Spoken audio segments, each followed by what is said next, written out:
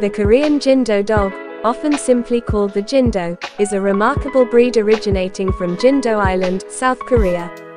These medium-sized dogs are celebrated for their unwavering loyalty, intelligence, and strong hunting instincts. The distinctive appearance features a well-proportioned body covered in a double coat that comes in various colors, such as white, red, fawn, black and tan, or brindle.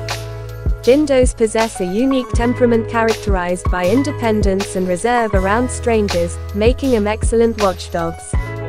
However, the deep attachment to their families is unwavering.